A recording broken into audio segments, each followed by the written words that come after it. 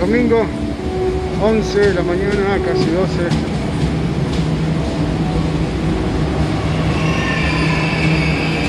Absolutamente nadie.